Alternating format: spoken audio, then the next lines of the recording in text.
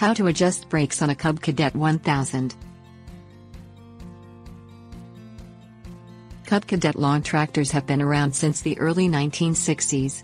The Series 1000 Cub Cadets are the company's smallest and least expensive offerings.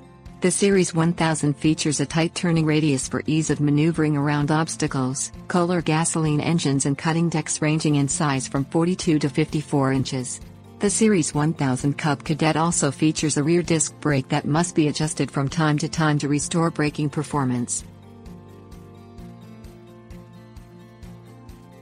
Things you'll need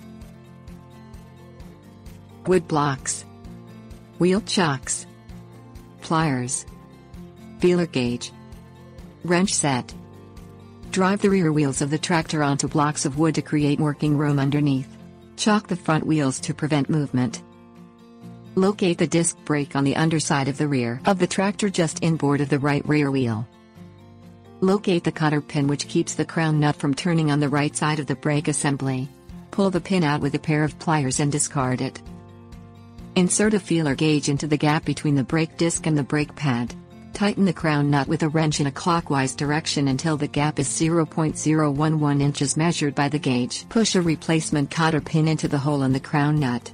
Bend over the ends of the pin with a pair of pliers to keep it from sliding out. Remove the wheel chocks and drive slowly off the blocks of wood. Tips Warnings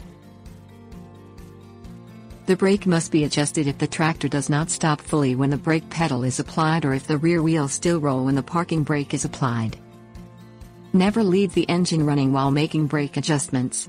Turn the key to the off position and remove it from the ignition to prevent accidental starting.